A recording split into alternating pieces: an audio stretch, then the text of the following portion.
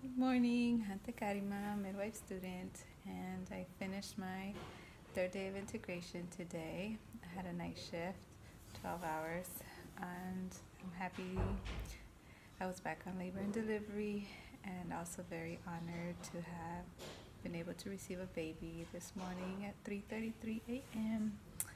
Um, and after I left the hospital this morning, I faced uh, west, which um, Mexica, so in our tradition, um, the west represents the Cihuatlampa, and that's the direction of the women, specifically the warrior women who give birth, that energy of Shiva Xipetotec.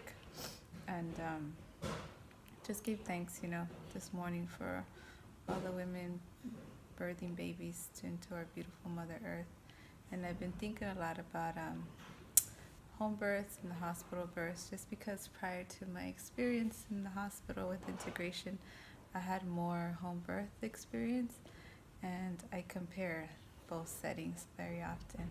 And it's very powerful to me when, um, you know, when we're in a setting where um, great grandma, grandma, mom, baby, so those four generations are present in that room. It's real beautiful, real strong, powerful. And uh, and then I've been in rooms where settings where it's just um, that mom alone with bruises.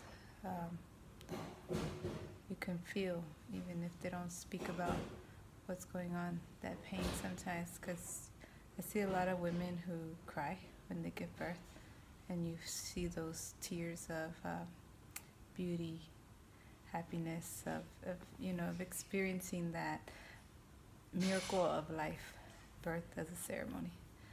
And then also you feel or you see those tears of of pain and um, just hurt.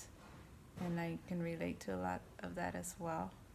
And um, you know, I, I, I really pray and believe that regardless of your race, your class, sexuality, you deserve to have the best birth, the best uh, team um, midwives, doctors, doulas, partners, whatever that team is for you. So I want to encourage all my pregnant people, friends, women to um, really take care of yourself with your prenatal care and. Uh, everyone is very helpful it seems too when it comes to prenatal care and, and the pregnancy and um, the birth.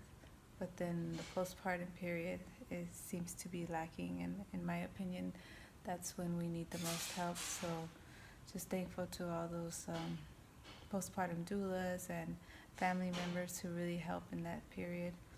And um, yeah I just wanted to make this short video thinking of um, all my friends who've been having home births lately and uh, and then everything I'm learning in the hospital. I'm really happy and I just want you know the best for all women and for everyone to really experience birth as a ceremony, what it has always been and what it is and continues to be.